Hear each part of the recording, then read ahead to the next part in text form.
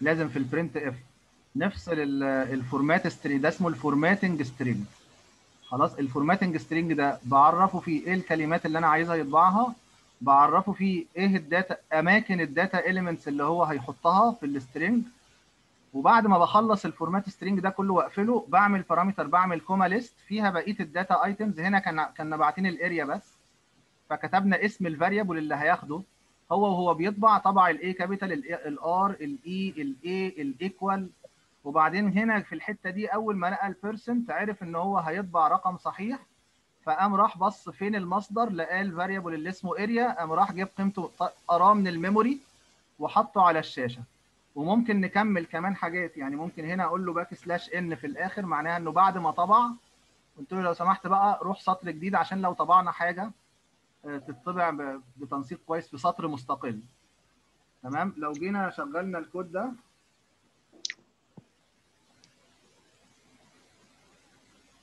هنلاقيه كتب hello في سطر وبعدين كتب area equal 5000 أنا ما كتبتش في الأمر 5000 فاني ما أعرفش. المفروض يعني ده مخزن هن- هنحسب فيه حاجة مش عارفينها وإحنا بنكتب الكود. خلاص؟ فكده الشاشة السوداء دي سميناها ال console. window وهي دي اللي بايه اللي هو بيطبع لنا عليها ال outputs بتاعت أو ال printf بتشتغل عليها.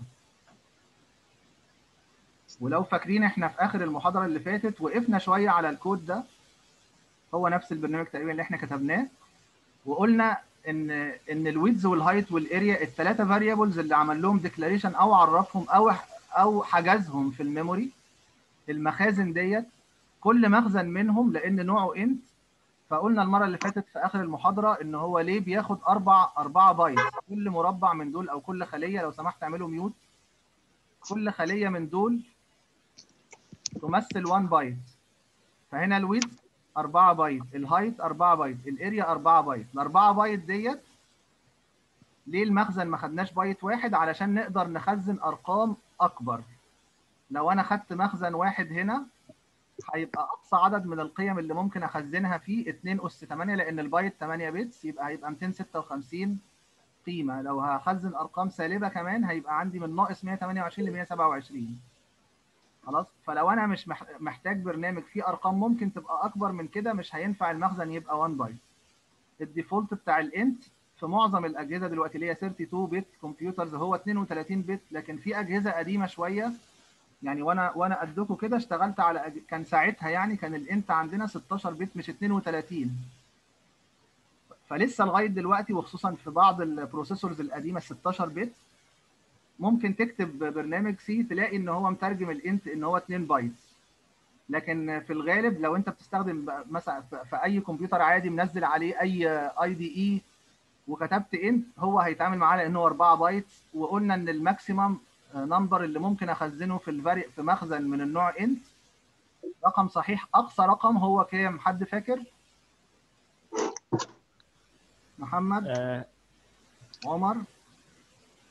هيبقى في حدود آه، 2 مليون وشوية. لو هاخد 2 آه، مليار مش سالب 2 مليون. مليار مليار آه. آه. يبقى إيه؟ يبقى 2 بس سبعة ناقص واحد تمام. وموجب وسالب. ده ال int العادي. لكن إحنا هنتعلم هو هيعلمنا دلوقتي أو هيورينا جدول في لو أنا طب أنا مش محتاج ال 2 مليار أنا عايز المخزن الصغير ده 1 بايت بس. خلاص؟ أو عايز مخزن 2 بايت أو عايز مخزن 1 أو 2 أو 4 بس يكون مخزن كله أرقام موجبة. ما عنديش في ال variable مش هخزن negative numbers في الايه في ال variable بتاعي. فدي كلها ليها أسامي هنتعلمها يعني. طيب هو بي بيديك بديل بيقول لك بص شايف البرنامج ده إحنا سمينا ال variables إزاي؟ width height area طب إيه رأيك إن في ناس كتير متعودة إنها لما تكتب كود من زمان قوي يعني من بدايات الكمبيوتر والإيه وال habit دي موجودة عند ناس أو العادة دي موجودة عادة سيئة إن أنا وأنا بكتب الكود كده أنا كتبت int w int h أنا في دماغي الدبليو هي width والاتش هي height وال a هي area فإيه رأيكم في التسمية دي؟ هل هي أحسن ولا أوحش؟ هي ليها ميزة وليها عيب. حد يقدر يفتي؟ محمد عبد الرحيم. هي ليها ميزة إن هي بتختصر بس عيبها إن أنت لو بتشتغل مع team كده ممكن هو ما يفهمش أنت قصدك إيه. يبقى هي ليها ميزة إنها بتختصر. مثلا لما جينا نكتب المعادلة هنا شايفين A equal w في اتش زي ما قال زميلنا. المعادلات والعمليات الحسابية اللي هيدخل فيها ال variables دي هتبقى سهلة أسهل وأسرع في كتابتها. لكن عيبها مش هو بيقول لو أنا شغال مع team طبعا مش هيبقى لازم أنا أشرح لهم إيه الدبليو والاتش يعني مش هيبقى سهل ليهم إن هم لأول وهلة كده أول ما يشوفوا الكود يفهموا أنا قاصد أعمل إيه لأن الأسامي مش مساعداهم. الأسامي من أكتر الحاجات اللي بتخلي الكود readable يعني مقروء لأي حد. بس ده مش بس للفريق ده ليك انت نفسك انت نفسك لو فتحت كود انت كاتبه بعديها بيوم أو بعديها بأسبوع أو ساعات بعديها بسنوات. احتجت كود انت عملته زمان. فانت عشان تفتح كود عملته زمان وتفهمه هتاخد هتاخد شوية وقت. ذكائك ان انت لما تفتحه تاني تفهمه في دقيقة مش تفهمه في ساعة. أو ما أو ما تعرفش تفهمه أصلا لأن في حاجات معقدة جدا وانت مش حاطط حاجات تساعدك إنك انت تفهمه. فعشان كده ال naming بتاع ال variables ده أساسي. زي ما قلت لكم المرة اللي فاتت إن ممكن شركات ما ترضاش تعينك علشان لما بعتوا لك حاجة تعملها مثلا في البيت أو لما امتحنوك إنك تكتب كود لقوك إنك أنت كودك not readable فأول حاجة تبقى حريص عليها دايما إنك أنت تكتب كود readable حتى لو هياخد وقت أكتر في كتابته. خلاص ده هيوفر عليك وقت كتير وهيدي للناس ال impression المطلوب منك إن أنت مبرمج شاطر يعني. خلاص فتيجي كده تكتب كود معقد جدا وتديه للشركة فاكر إن هم هيفرحوا بيك تلاقيهم مش واخدينك مش مش considering you يعني candidate للوظيفة بتاعتهم. حاجات بسيطة جدا بس بتفرق كتير. خلاص؟ ولو إحنا من البداية آه، حطيناها في ذهننا وتعودنا نكتب كود كامل حتى لو هياخد وقت زيادة بدل ما تكتب الكود ممكن تكتب البرنامج في دقيقتين هتلاقي نفسك كتبته في 10 دقائق بس أنت بتبني آه، بتبني عادة جواك كده. انت من غير ما تحس بتلاقي نفسك بتكتب كود آه، بالشكل المظبوط اللي هو فيه العناصر كلها ان هو موزون كده مقروء وبرضه ال performance بتاعه بيستخدم ال structures بتاعت اللغة بأفضل شكل. خلاص؟ فعشان كده قال لك خلي بالك البرنامج ده آه، ممكن يتك... هو صح خلاص وهيدي ولو كتبته بالأسامي اللي هي المختصرة ديت هيدي آه، نفس ال- النتيجة بس إحنا مش عايزين نعمل كده يعني. تمام هو هنا قال إن إحنا ممكن آه، ده برنامج تاني بديل تاني لنفس البرنامج اللي هو بيحسب مساحة المستطيل اللي هو اللي عرضه وطوله 100 في 50 مفيش حاجة مختلفة هنا غير إن هو وفر ال variable يعني ما عرفش variable اسمه area هنا عرف مخزنين للويدز والهايت وجه في ال printf بدل ما يكتب هنا اسم مخزن كتب expression خلاص expression يعني تعبير. كلمة expression معناها عملية يعني عمل شوية كلام مكتوب هيتحسب ويتحط مكانه قيمة. ويدز في هايت ديت في الآخر معناها إن إحنا هنقرأ قيمة ال width وهنقرأ قيمة ال height وهنعمل عملية الضرب ونتيجة كل ده هتبقى رقم. هنحطه هنا في ال percent d هنطبعه في الشاشة. فيبقى هنا قال إيه؟ أنت مش محتاج أصلا ال variable اللي اسمه area ده لأنك ممكن تيجي هنا في ال printf وتحط الويدز في الهايت دي. خلاص؟ فكأن إحنا لو محت... لو إحنا بنستخدم آه، أو بنشتغل على حاجة limited قوي ما عندناش memory اكتشفنا إن إحنا running out of memory مش ما عندناش أماكن فاضية. وخصوصا لو بتشتغل حاجة embedded يعني على limited memory معاك. فاحيانا أنت إيه تحاول توفر variables كده. لكن في برنامج زي أنت بتكتب في ال Visual Studio مثلا وبتشتغل على لابتوب أو على كمبيوتر ده غير محبذ إن إحنا نكتر الحكاية دي. لا. كل ما تعرف variables برضه هتزود ال readability هتسهل لك إن أنت تعمل debug لو برنامجك فيه غلطة هتقدر تتتبع الخطأ ده أسهل لو أنت مش إيه مش مجمع خطوات كده في بعضها. يبقى هنا جمعنا خطوتين واختصرنا. الاختصار ده له ميزة إن هو بيقلل ال... بيقلل عدد ال variables وبيقلل حجم البرنامج في ال memory. ما هو البرنامج ده نفسه إحنا اتفقنا إن إيه إن الكمبيوتر قام على فكرة ال stored program يعني البرنامج ده لما هيترجم ل object code علشان يتنفذ لازم ال operating system زي ال Windows يحطه لي في ال memory الأول. فأحيانا أنا أكون عايز أحط برنامج في memory لجهاز مثلا بيتحكم في جهاز تحكم في مصنع وال memory اللي فيه محدودة.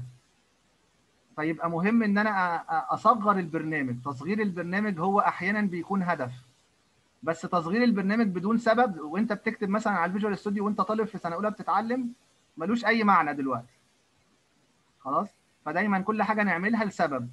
لو السبب ده مش موجود إحنا مش هنعملها مجانا. لازم يكون في سبب بيخلينا نعملها.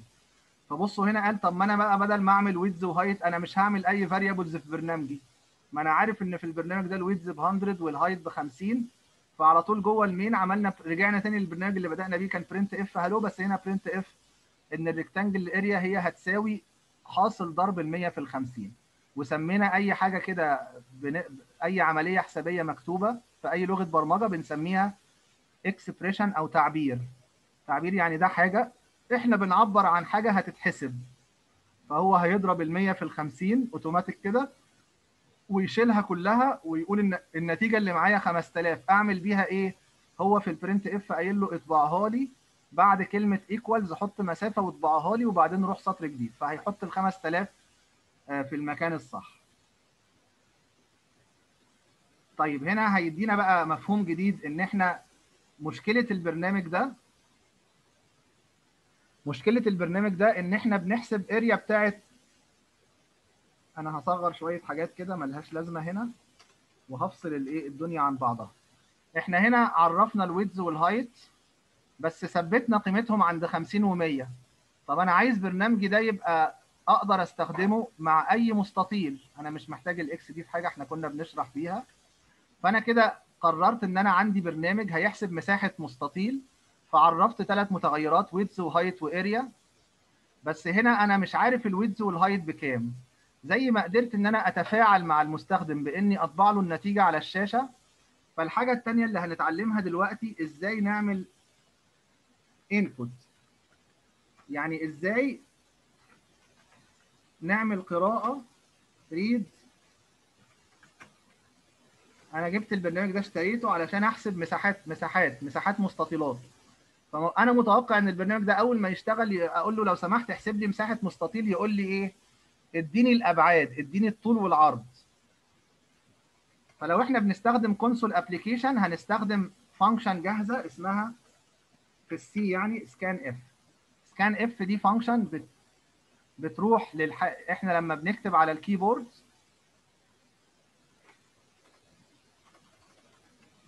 هنا هقول هنا when you type some letters on keyboard. إيه اللي بيحصل؟ انت معاك اي كمبيوتر فاتح الكمبيوتر وكتبت حاجة على ال keyboard. ال keyboard ده لو بصيت عليه هتلاقي إن هو إيه شوية زراير وفي سلكاية سلكة طالعة منه وداخلة على الكمبيوتر من ورا. أو لو هو لابتوب هو يعني في الآخر برضو في كابل كده بيوصل ال- الكود بتاع بيوصل كده أنت دوست على أنهي حرف لإيه؟ لل operating system فأنت كتبت ال letter أول حاجة يو طيب الليتر إيه اللي بيحصل؟ الكود يعني كل الحرف من دولت كل حرف له شفرة. الكود أو الشفرة of the letter passes through the keyboard keyboard أنت قال لما كتبت حاجة على ال keyboard كتبت حرف أول ما كتبته الكود بتاعه إحنا هنتعلم الأكواد دي في chapter 1 يعني مش بعيد ممكن في المحاضرة اللي جاية ولا أو النهارده يعني ما أعرفش الكود اللي انت كتبته ده مشي في الأسلاك الأسلاك وصلته لفين؟ لازم يتخزن في مكان. خلاص؟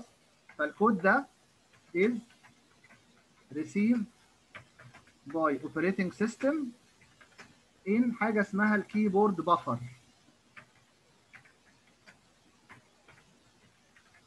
خلوا بالكم إن كلمة buffer دي بنستخدمها في الكمبيوتر هتشوفوها في كورسات كتير قوي. buffer معناها مخزن برضه. keyboard buffer يعني في مكان مخصص في الذاكرة. أول ما أنت بتدوس على على زرار من ال keyboard على طول شفرة الحرف أو الكود بتاع الحرف ده بيروح متخزن في 1 بايت جوه ال keyboard buffer ده. وبعد كده ده على طول. وبعد كده ال operating system بيبتدي يشوف ال keyboard buffer فيه إيه. أو برنامجك بيروح يشوف ال keyboard buffer ده فيه إيه علشان يعرف أنت كتبت إيه على ال keyboard. فإحنا في في لغة ال C مثلا ال scanf function ديت اسمها scanf ليه؟ لأنها بتعمل scanning يعني بتفحص يعني بتمشي على. scan هنا معناها ال- السكانر أو ال scanning معناه إن أنا بفحص حاجة يعني بمشي عليها من أولها لآخرها. scanning ال keyboard buffer خلاص يبقى إحنا عندنا في ال C إحنا نقدر في برنامجنا نعمل برنامج يشوف لو الراجل كتب حاجة على ال keyboard. فأنا ممكن في برنامج C أقول له لو سمحت دخل لي قيمة ال width وال height بال printf وبعدين أستخدم ال function اللي اسمها scanf دي عشان أتأكد هو كتب إيه بالظبط. أفضل مستنيه يكتب حاجة. واسمها scanf لأن هي برضو scanf ال f دي اختصار format يعني scanf دي معناها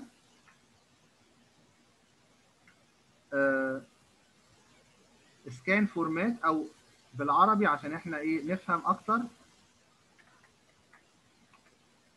كلمة format يعني وصف. فهنا وصف الإيه وصف الفحص اللي إحنا هنعمله لل keyboard buffer فأنا بوصف له أنا متوقع إيه؟ متوقع إن الراجل يدخل رقم صحيح مثلا. فهو هيمشي هيمشي. الرقم الصحيح ده ممكن يكون كذا خانة. يعني مثلا لو أنا كتبت آه خلونا نشوف كده في الكود بقى هنعملها إزاي. أنا ممكن أقول له scanf طب ال scanf دي بتاخد مني إيه؟ برضو بتاخد نص بيوصف لي. أنا متوقع لما تروح لل keyboard buffer تلاقي إيه؟ فممكن أقول له كده أنا متوقع إنك تلاقي رقم صحيح. فعادة إحنا عشان نعمل برنامج كويس بنعمل printf أنا عرفت له إن في مخزن اسمه width ومخزن اسمه height طب قيمته إيه؟ أنا ما أعرفش. أنا عايز الراجل اللي هيستخدم البرنامج يدخل لي ال width مثلا. فهقول له enter width طيب enter width دي معناها إيه؟ إن أنا هطلع له رسالة بس كده عشان يعرف إن أنا قصدي إيه. أنا مستني منه إيه. طب هعرف منين الرقم اللي هو هو هيروح لل keyboard يكتب رقم. فهعرف منين الرقم اللي هو كتبه؟ عن طريق ال scanf دي فال scanf دي بتاخد مني وصف أنا وصفت له هنا إن أنت لو سمحت روح لل keyboard buffer وشوف هتلاقي ال user كتب رقم صحيح. وبعدين يعمل بيه إيه الرقم ده؟ هنتعلم كده حاجة غلسة شوية إن إحنا هنكتب and ونكتب اسم. المخزن اللي إحنا عايزين الرقم ده يروح فيه.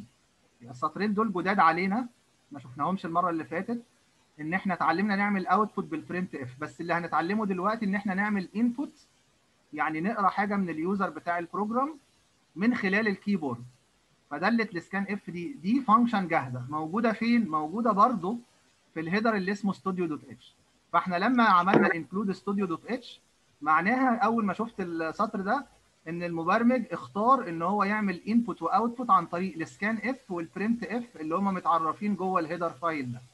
فأنا جيت قلت له لو سمحت دخل لي ال width وبعدين كتبت في برنامجي عملت call ندهت ال function اللي اسمها scanf اللي هي function برضو مبنية في ال stdio وقلت لها لو سمحت روحي دوري على رقم صحيح ال user كتبه على ال keyboard هتلاقيه في ال keyboard buffer وخديه حطيه في العنوان في المكان بتاع ال width هي ال scanf دي معمولة بطريقة كده إن هي ما تعرفش الأسامي بتاعتنا ما تعرفش ويدز وهايت لكن ممكن نقول لها روحي للمكان حطي الايه الرقم اللي ال user كتبه ده في المكان رقم 1000 في المكان رقم 2000 لو رجعنا تاني للبرنامج اللي كان فيه ال memory ال width دي موجودة في الأربع أماكن دول في ال memory اللي ممكن يكونوا في المكان رقم 1000 2000 3 فال scanf ما ما بتعرفش غير العنوان. بتاع المخزن. فلما بنيجي نكتب علامة ال and دي معناها دي operator بيجيب لي عنوان مخزن. اند ويدز لو طبعتها الويدز دي لو قلت له اطبع الويدز هيطبع لك الرقم ال 50 أو ال 100 لكن لو قلت له اطبع لي and width معناها بتقول له اطبع لي عنوان المخزن اللي اسمه width فخلاصة الكلام بتاعت ال scanf دي إنها function بسيطة. تقرا لي الراجل كتب إيه في ال keyboard. فلو أنا متوقع إن هو يكتب رقم صحيح لأني بتعامل مع أرقام صحيحة هنا فقلت له scanf وقلت له percent d هنا. يعني اقرا لي رقم صحيح. طب أجيبه منين؟ عملت كوما وكتبت parameter تاني لل scanf وكتبت اسم المخزن اللي عايز أخزن فيه الرقم ده بس كتبت لزقت قبليه العلامة اللي هي ال and دي. فأنا هعمل نفس الكلام ده تاني بس بدل الويدز الهايت.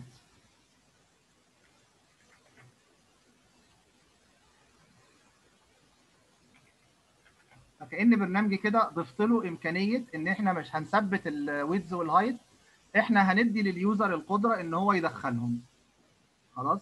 لو بصيت كده لو جيت شغلت.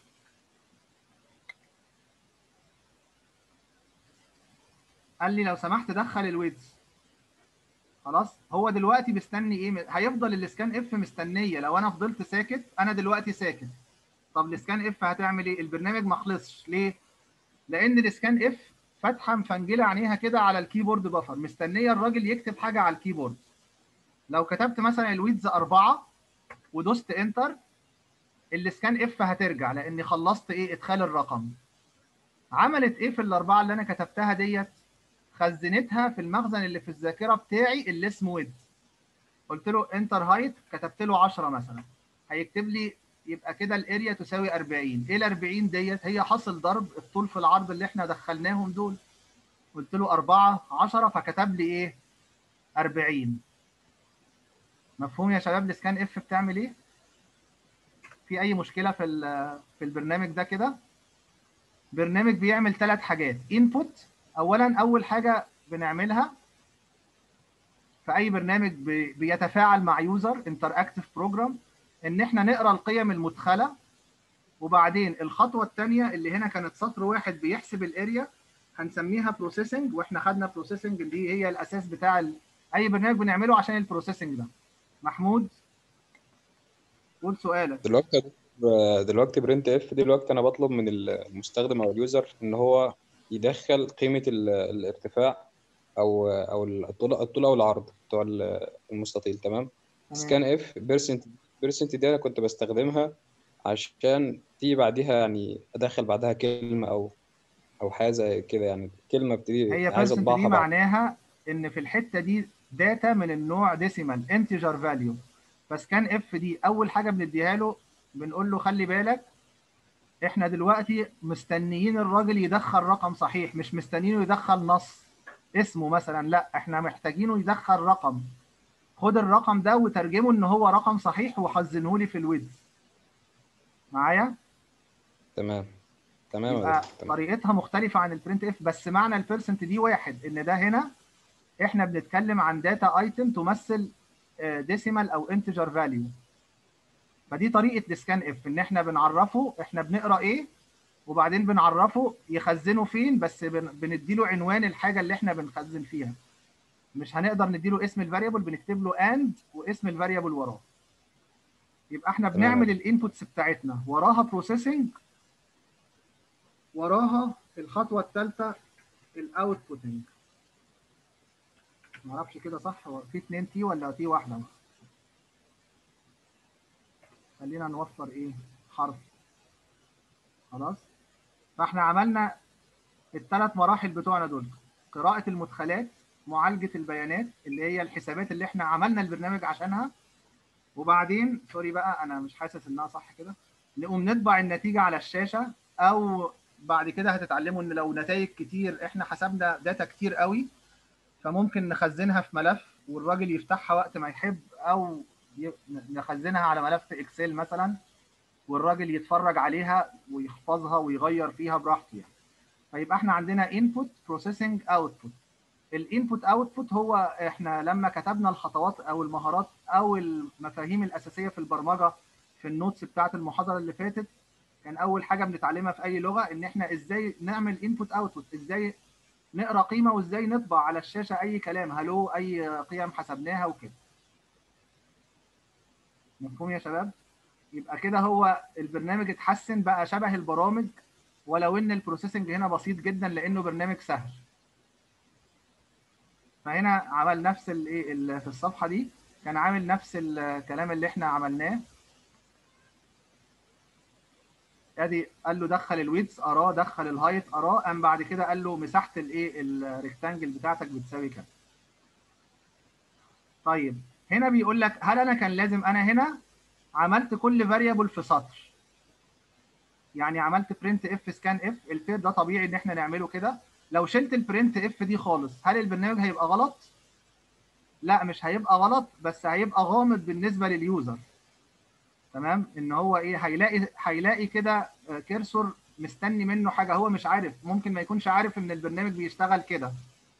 فالأفضل دايما أعمل printf scanf هل لازم أعمل كل variable أنادي scanf منفصلة لكل variable هتبصوا هنا في الكتاب هتلاقيه عامل تعديل للبرنامج إن هو حاطط ال scanf سطر واحد وفي الوصف بتاعه بيقول له خلي بالك افحص لي ال keyboard buffer واقرأ لي اثنين integer percent d مسافة percent d وأول رقم تقرأه حطه لي في ال address of width إحنا بنقرأ الك- الكلمة دي كده and width يعني address of width عنوان ال width وحط لي الرقم الصحيح الثاني أو ال integer الثاني حطه لي في ال address of height تمام؟ يعني أنا مش لازم أكتب scanf منفصلة لكل قيمة. أنا هنا دي فايدة بقى ال formatting إن أنا قلت له أنا متوقع إن ال user يدخل لي رقمين صحيحين. بينهم مسافة.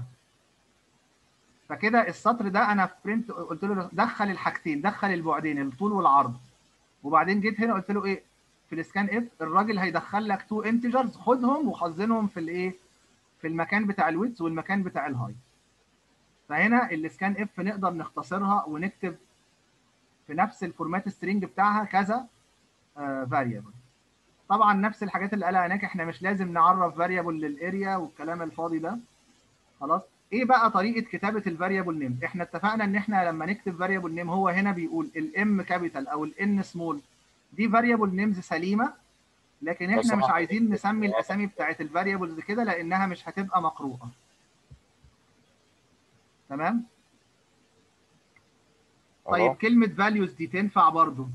يعني إيه القواعد بتاعت ال variable name إنه ما يكونش كلمة محجوزة. يعني ما أجيش مثلا أجي هنا أقول إيه؟ والله أنا هعمل variable اسمه char. C H A R هاجي كده أقول إن أنا ناوي أعمل كده. وأنا بكتب ال variable name لقيته بقى لونه أزرق. ده إشارة ليا إن ده keyword محجوزة لأن ده كده data type تاني اللي هو بتاع الحروف ال- ال- الحروف الأبجدية A و B و C وكده. مش أرقام يعني. فأنا ما كنتش عارف. أنا كنت ناوي أعمل variable اسمه كده. أول ما لقيت لونه ازرق كده معناها إن ده keyword يعني الكلمات المحجوزة ديت ما ينفعش نسمي variable باسمها.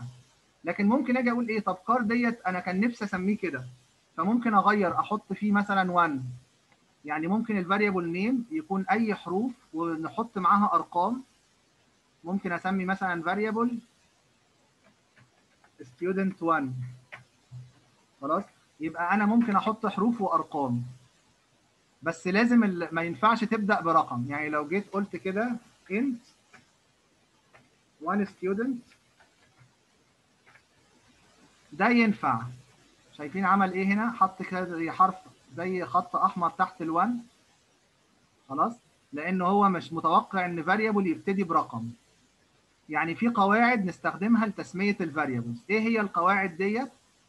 ما يكونش keyword محجوزة زي كلمة int أو include دي ما ينفعش نسمي variable بالأسامي ديت. خلاص؟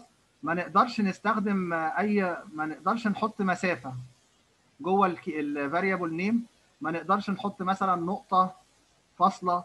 الحاجة الوحيدة اللي نقدر نحطها هي ال underscore وما يبتديش برقم ده القاعدة الثالثه إن ال variable name ما ينفعش يبدأ برقم. نرجع تاني هنا. السطر ده كده declaration ده correct ال declaration ده wrong غلط. لأن ما ينفعش ال variable يبتدي بإيه؟ برقم. واحد يقول إيه أنا هعرف variable اسمه آه sum of آه أي حاجة. هنا ال variable ده غلط لأن حطيت فيه إيه؟ مسافات. يقول طب لا طب أنا هعمل ال sum ديت dot of dot ده برضو غلط لأن ما ينفعش نحط نقطة أو فاصلة أو علامة استفهام أو الكلام ده. لكن اللي ممكن نربط بيه الكلمات هو ال underscore يعني كده ده كده بقى correct إن أنا وأنا بسمي عايز أسمي variable اسمه واضح قوي فكتبت إن ال variable ده اسمه sum of students. ده هيخلي المعادلات اللي هيدخل فيها ال variable ده أكبر وإيه وأكثر تعقيدا شوية بس إيه بس الميزة إن أنا خليته very readable مفيش حد يقدر يبقى عنده غموض لما هيقرأ السطر ده يعرف المخزن ده هنخزن فيه إيه بالظبط. فده كده correct ده تسمية مقبولة. إني استخدمت إيه؟ underscore ولو إن في طريقة تانية اللي هي ال Hungarian notation إن أنا أسمي كده sum أو ممكن يعني حسب كل لغة ليها notation معين أنا ممكن أسميها كده sum of students. يعني ألزق الكلمات في بعض من غير underscore وبداية كل كلمة تبقى capital ما عدا أول كلمة. كده sum of students ده أنا مش فاكر ده اسمه ال camel ولا ال Hungarian بس إيه بس ده notation مشهور قوي. و correct طبعا لأن كله حروف. يبقى أنا ممكن أحط حروف وأرقام بس ما يكونش الرقم في البداية. مثلا ممكن أقول sum 1 of students 2 مثلا. ده برضو مقبول. إن في أرقام في النص في underscore في النص وممكن يبدأ ب underscore يعني دي آخر حاجة إن أنا ممكن أقول int under sorry لازم مسافة طبعا بين ال data type count مثلا لأسباب معينة ساعات بنحط. يعني في حاجات معينة أنا ممكن طبعا في أي برنامج أعرف أي variable إنه يبتدي ب underscore لأي سبب حاجة تانية إحنا اتعلمنا المرة اللي فاتت إن أنا لو جيت قلت مثلا int area إحنا عاملينها دي فوق int side 1 مثلا. يبقى أنا سميت ال variable side 1 وجيت حد كتب كده side 1 هنا لأن اللغة دي case sensitive فبتفرق ال s small عن ال s capital يعني هنا البرنامج ده هيبقى فيه مخزنين مختلفين. واحد منهم اسمه side 1 كلها lower case أو small letters وواحد منهم side 1 وأول حرف capital فهنا في مشكلة إن أنا ممكن أعرفه side 1 وأجي في المعادلة اللي جوه بدل ما اكتب area كده يقوم يكتب ال a capital وفاكر إن هو عادي. طالما ال variable اتعرف هو هنا على طول لقط لي إن في مشكلة إن ال variable ده مش متعرف. مع إني كاتب int area فوق بس كاتب الايه ساعتها سمول يعني ناخد بالنا إن اللغة ديت إيه case ما أقدرش أجي في ال main ديت وأخلي ال m capital وأقول أنا بحب أحط أول حرف capital لأن طريقة تعريف اللغة هي more lower case يعني معظم الحاجات في ال C بتبقى lower case لكن انت من حقك تعرف variables capital كلها وإن كنا إحنا بنحجز ال capital كله ده لما يكون constant خلاص؟ يبقى هنا ال variables كلها هنا من حقك تستخدم حروف capital small من حقك تحط أرقام أو digits زي side 1 side 10 area 4 أي حاجة من الحاجات ديت بس ما يكونش الرقم في بداية الاسم بتاع ال variable وممكن تستخدم ال underscore معاهم وال underscore ما فيش أي قيود عليها ممكن تجيب أي عدد من ال underscore يعني ممكن ممكن, أسمي ال variable كده. int آه أحمد underscore underscore underscore underscore عادي. ال underscore يجي في الأول يجي في النص يجي في في الآخر أحط أي عدد من ال underscores من حقي. كل ده valid و correct هنلاقيه هنا هو قال إيه؟ خلي بالك ده مش variable name صح لأن في مسافة. ده مش variable name صح لأن استخدمت الأكبر منه. ما بنقدرش نستخدم الحاجات اللي زي كده عشان ما لما نحطها في معادلات هو هيتلخبط. هو ده جزء من اسم ال variable ولا ده عمل رمز عملية أو operator زي ما سميناه قبل كده؟ ما نقدرش نسمي ال variable void الغلطة هنا إن ده keyword متخزنة في اللغة. ما نقدرش نسمي ال variable 5 names لأن ما نقدرش نحط أول اسم خمسة. طيب ما نقدرش نسمي printf هنا هيحصل له لخبطة بقى. أنا مش متأكد إن ده صح. ال printf هنا لونها مش أزرق صح؟ هل لو إحنا كتبنا variable نوعه printf هيرفض ولا مش هيرفض؟ طالما إحنا عاملين include ليها الطبيعي إن هو يرفض. int printf دلوقتي لو أنا شلت الراجل الغلط ده عشان نشيل حاجة ممكن بدل ما نمسحها نعملها comment دي يعني المبرمجين بيعملوا كده. فالكود بيبقى فيه كده rubbish كتير في بعد شوية يعني. آه لو أنا جيت دلوقتي وحاولت أنفذ الكود ده هيقول لي error هيقول لي error صح؟ هو دلوقتي شكله كده هيشتغل بس